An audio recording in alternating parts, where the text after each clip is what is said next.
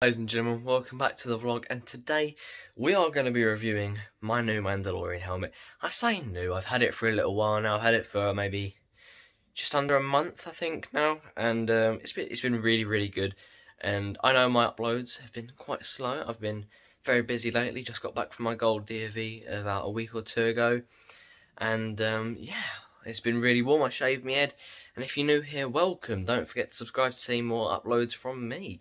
Now, let's dive straight into this helmet, because it is so cool. Okay, so this is the box. I did keep the box, but yeah, it is a little bit banged up, because obviously, I've, as I said, I've already opened it, I've put the helmet together, and it's a bit banged up.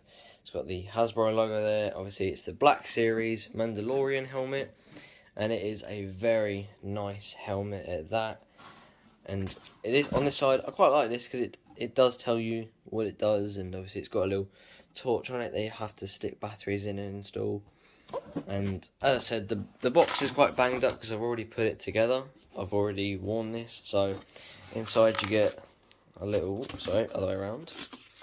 You get this thing, which I believe tells you, yeah, it tells you how to install things and basically just put it together, and you got to just put it to your head. That took me about 20 minutes because I have a pretty big head. And uh, this piece is what's that piece? Oh, okay. So sorry.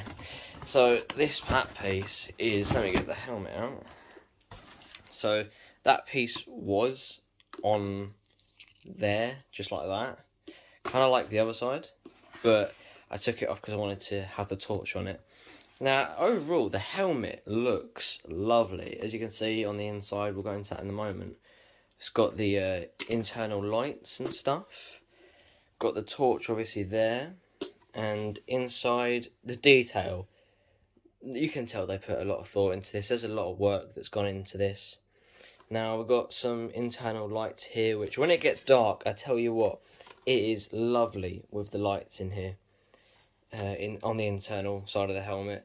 And obviously you've got buttons here which can make the lights do different things. I've, I've still not fully figured out about the um uh, the buttons. I still need to do a bit more research on that. But I know one of them does turn the light on. Like, I think I have to have my head in there because it only ever works when I put my head in the helmet. But if you hold it down, I think it does turn the internal ones. There we go. If you hold it down, it turns them off. So I'll stick the helmet on and show you guys what it looks like actually on a person. So I'm not too sure how much you guys will be able to hear me right now, but what I love about this helmet is that I can see quite clearly from just basically outwards and a little bit to the side down here. You can't really see anything out here, but that's obviously a given. Obviously, you can look about. The mobility on it is quite nice, but one thing you do need to be aware of, especially if you're wearing this out at maybe like a children's party or something, they can still see your mouth. So if a child annoys you, don't be swearing at them. That's what one thing the guy said to me in the shop as well. He definitely warned me that, and I'm glad I knew that because trust me. Oh dear, but as you can see, when I press the buttons now, the torch turns on. The torch is like I, I love the the torch. I definitely recommend putting the torch on. A lot of people, some people do keep it off because they say it's a bit chunky and it makes the helmet look a bit more weird, but I, I prefer the torch actually attached to the helmet. I do like it. And uh, honestly, it is just it is just a beautiful helmet altogether. I do love it. I've got a real soft spot for the Mandalorian as well. It's definitely one of my favourite series. If you haven't watched it, go and watch it. So yeah, that's pretty much everything I think there is to show you about the helmet. This wasn't a in-depth look into the helmet and putting it together and how to assemble it and bits like that. There are many, many other channels and videos that you can look at to help you with that. This was just my opinion on the helmet and how it's been for me after a little while of having it.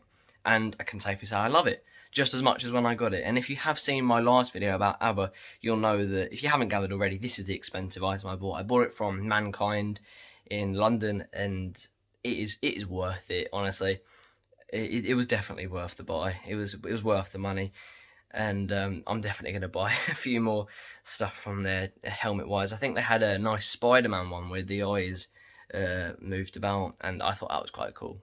Um, maybe maybe get that. They had a Thor hammer, which looked really cool. Captain America shield. They had a lot of Marvel stuff and bits like that. And uh, yeah, I'm definitely, I'm tempted to say the least. Well, thank you guys so much for watching the video. I really hope you've enjoyed it. If you have enjoyed it, don't forget to smash the like and tell me what you thought in the comments. And hopefully see you guys in the next one. Have a great day.